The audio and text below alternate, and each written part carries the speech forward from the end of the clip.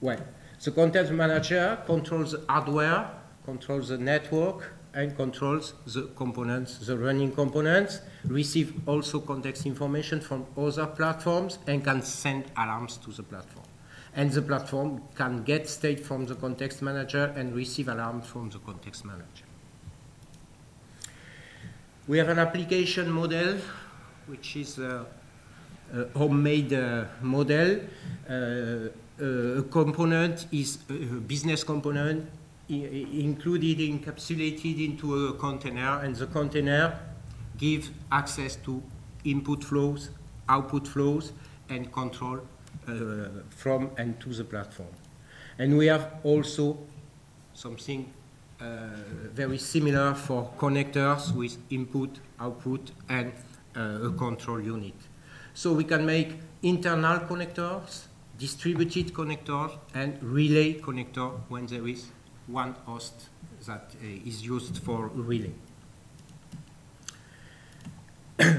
what uh, is to be done when, um, when developing an application? Well, only to write the pieces of the application, the business uh, components of the application with a life cycle very classical, like init, destroy, and run. Uh, and uh, we used uh, some methods to uh, read data directly or by listeners and to write data to output.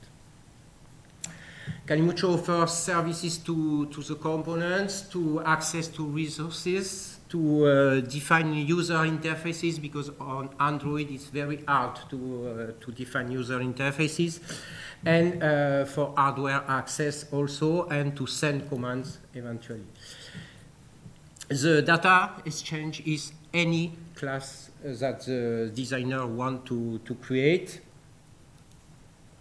So if you take the, the example of the GPS uh, management, uh, the BC that uh, take the GPS position, it can be right as this. It's not very hard an init, a destroy, a run BC that uh, gets uh, the position and send it.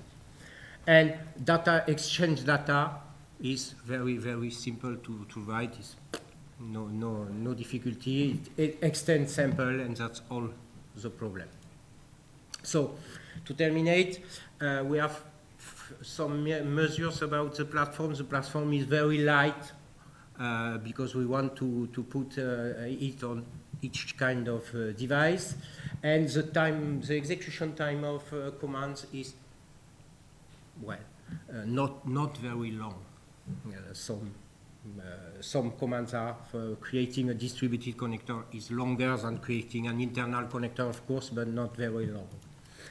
We have also see what time to migrate a component. So we have some measures and it also uh, 300 uh, milliseconds to, to migrate a component like in the example. And uh, to deploy an application is about to, six, 70 milliseconds. Well, so uh, is now a very new, new, new project in uh, OW2 and uh, we are working on the part of decision. There is uh, two PhD working on the part of decision.